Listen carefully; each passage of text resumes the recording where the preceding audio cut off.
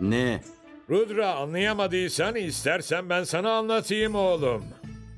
Gelinim Egon'u bir kenara bırakmanı istiyor ve benden hayır duamı almanı.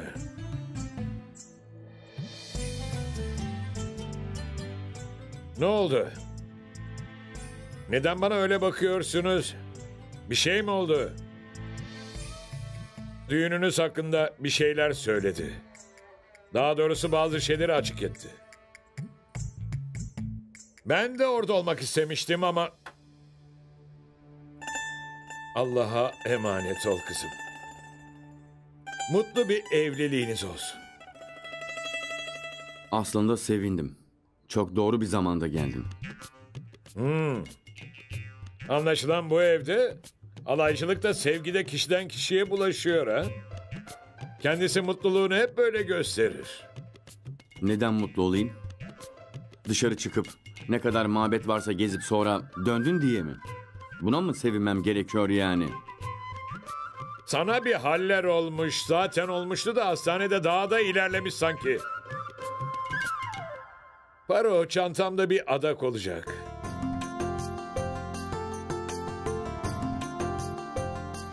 Hmm. Ah. Allah sana sabır ve güç versin kızım. Cesaret versin. Mutlu bir hayatın olsun. Hadi al. Sen de al.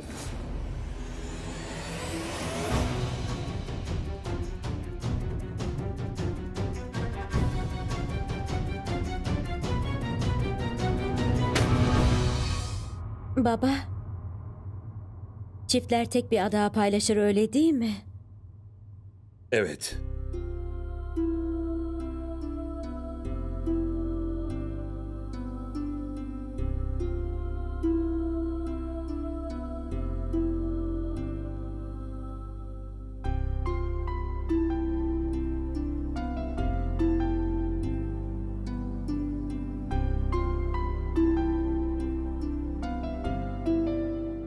Git yat dinlen.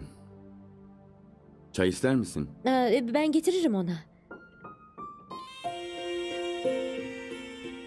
Binbaşı sen şeyini... Aldım. Sen merak etme. İlacımı yemeye oturmadan aldım.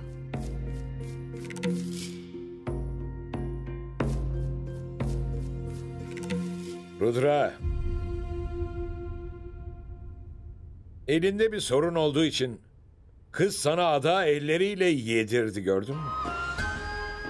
Ama bunu gizlice yaptı, gururunu incitmeden. O çok iyi bir kız. Değil mi?